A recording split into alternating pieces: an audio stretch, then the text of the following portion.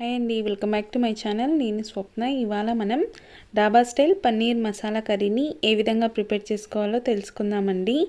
ఇది చాలా తక్కువ ఇంగ్రీడియంట్స్తోనే అన్నీ కూడా మనం ఇంట్లో ఉన్న ఇంగ్రీడియంట్స్ రెగ్యులర్గా యూస్ చేసే ఇంగ్రీడియంట్స్ని యూస్ చేసి చాలా సింపుల్గా ప్రిపేర్ చేసేసేయచ్చండి. చాలా టేస్టీగా ఉంటుంది. చపాతీ బటర్ నాన్ కలర్ రైస్లోకి చాలా బాగుంటుంది. ఎలా ప్రిపేర్ చేసుకోవాలో తెలుసుకుందాం. ముందుగా స్టవ్ వెలిగించి స్టవ్ మీద ఒక ప్యాన్ పెట్టుకొని అందులోకి ఒక స్పూన్ శనగపిండిని యాడ్ చేసుకోవాలండి. దీన్ని లో ఫ్లేమ్లోనే బాగా పచ్చివాసన పోయేంత వరకు వేయించుకోవాలి. ఒక రెండు లేదా మూడు నిమిషాలకి శనగపిండి బాగా వేగిపోయి పచ్చివాసన అంతా పోయి ఉంటుందండి ఇప్పుడు స్టవ్ ఆఫ్ చేసుకొని దీన్ని పక్కన ఉంచేసుకోవాలి.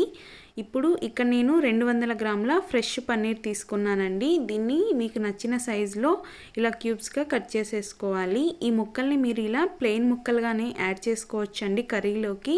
కాకపోతే ఇలా కొంచెం మ్యారినేట్ చేసుకొని యాడ్ చేసుకుంటే ముక్కలు చాలా టేస్టీగా ఉంటాయి.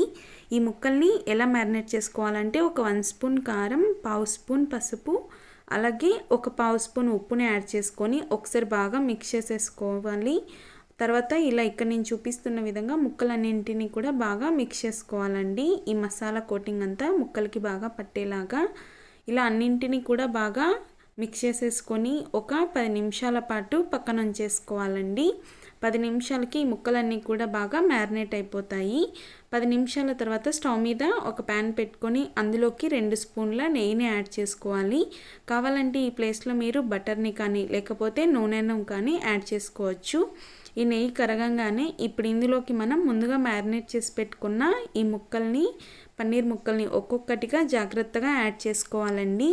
ఇలా ఫ్రై చేసుకోవడం వలన నెయ్యిలో టేస్ట్ అనేది ముక్కలకి చాలా ఈ కోటింగ్ అంతా పర్ఫెక్ట్గా పట్టి కర్రీ చాలా టేస్టీగా ఉంటుందండి.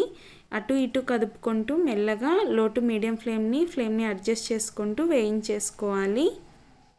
ఇలా వేయించుకోవడం వలన అలాగే మనం కర్రీలోకి ఈ పన్నీర్ ముక్కలు యాడ్ చేసిన తర్వాత ఇవి వచ్చేసి చిదిరిపోకుండా పర్ఫెక్ట్గా కూడా ఉంటాయండి. చూడండి అన్నీ కూడా బాగా వేగిపోయాయి. ఇప్పుడు స్టవ్ ఆఫ్ చేసుకొని వీటిని పక్కన ఉంచేసుకుందాం. ఇప్పుడు కర్రీ ఎలా ప్రిపేర్ చేసుకోవాలో తెలుసుకుందామండి. స్టవ్ మీద ఒక ప్యాన్ పెట్టుకొని అందులోకి ఐదు లేదా ఆరు స్పూన్ల నూనె వేసుకోవాలి. ఇందులోకి రెండు చిన్న ఇంచు దాల్చిన చెక్క రెండు లేదా మూడు లవంగాలు రెండు బిర్యానీ ఆకులు అలాగే ఒక మూడు పచ్చిమిర్చిని స్ట్రైట్గా కట్ చేసుకొని యాడ్ చేసుకోవాలి. ఒక పెద్ద ఉల్లిపాయ సన్నని తరుగుని యాడ్ చేసుకోవాలండి. ఈ ఉల్లిపాయలు బాగా కలర్ చేంజ్ అయ్యేంత వరకు వేయించుకోవాలి. ఈ ఉల్లిపాయలు కలర్ చేంజ్ అవ్వడంలోనే మనకి కర్రీకి టేస్ట్ అనేది డిపెండ్ అయి ఉంటుందండి. చాలా చక్కగా ఇలా కలర్ చేంజ్ అయిపోతే టేస్ట్ బాగుంటుంది. అలాగే కలర్ కూడా బాగుంటుంది. ఇప్పుడు ఇందులోకి ఒక అర స్పూన్ షాజీరాని కానీ షాజీరా అందుబాటులో లేకపోతే జీలకర్రని కూడా యాడ్ చేసుకోవచ్చండి. ఇలా అంతా ఒకసారి బాగా మిక్స్ చేసుకున్న తర్వాత ఇప్పుడు ఇందులోకి ఒక స్పూన్ ఫ్రెష్గా రుబ్బుకున్న అల్లం వెల్లుల్లి పేస్ట్ని యాడ్ చేసుకొని ఒకసారి బాగా మిక్స్ చేసుకోవాలండి. ఒక రెండు నిమిషాలకి ఈ అల్లం వెల్లుల్లి పేస్ట్ పచ్చివాసన పోతుంది. అప్పుడు ఇందులోకి ఒక రెండు పెద్ద టమాటోల్ని మిక్సీలో యాడ్ చేసుకొని ఇలా ప్యూరీ ప్రిపేర్ చేసుకొని యాడ్ చేసుకోవాలండి. చిన్న టమాటోలను అయితే మూడు యాడ్ చేసుకోవచ్చు. టమాటోలు ముక్కలుగా కన్నా ఇలా ప్యూరీ చేసి యాడ్ చేసుకోవడం వలన కర్రీకి చాలా మంచి టేస్ట్ వస్తుంది. చూడండి ఇలా ఒకసారి బాగా మిక్స్ చేసేసుకోవాలి. ఇప్పుడు ఇందులో నుంచి ఆయిల్ సపరేట్ అవుతున్నప్పుడు ఇందులోకి మనం స్పైసెస్ యాడ్ చేసుకుందామండి. ఒక వన్ స్పూన్ కారం అలాగే ఒక పావు స్పూన్ పసుపు అలాగే ఒక వన్ స్పూన్ ధనియాల పొడి అలాగే ఒక అర స్పూన్ జీలకర్ర పొడి అలాగే ఫైనల్గా ఇందులోకి మనం ముందుగా వేయించి పెట్టుకున్న శనగపిండిని కూడా యాడ్ చేసుకోవాలండి. ఈ శనగపిండి యాడ్ చేసుకోవడం వలన కర్రీకి మంచి టేస్ట్ వస్తుంది. అలాగే మనకి కర్రీ కూడా చిక్కగా వస్తుంది. మీరు కంపల్సరిగా శనగపిండిని స్కిప్ చేయకుండా యాడ్ చేసుకోండి. టేస్ట్ చాలా బాగుంటుంది.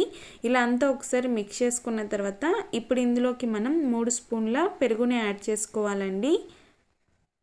ఫ్రెష్ పెరుగుని యాడ్ చేసుకుంటే టేస్ట్ బాగుంటుంది. చూడండి ఇలా యాడ్ చేసుకున్న తర్వాత ఒకసారి బాగా మిక్స్ చేసేసుకోవాలండి.